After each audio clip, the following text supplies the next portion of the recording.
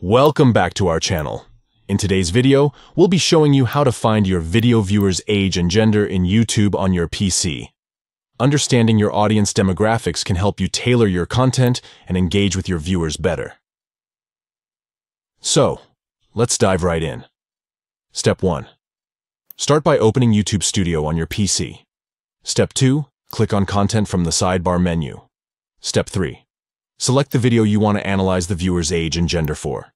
Step 4. Click on Analytics at the top of the page. Step 5. On the Analytics page, click on Audience from the tabs. Step 6. Scroll down until you find the Age and Gender section.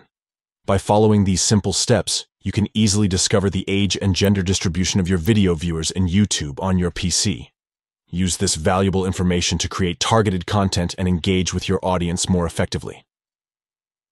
If you found this tutorial helpful, don't forget to give this video a thumbs up and subscribe to our channel for more YouTube tips and tricks.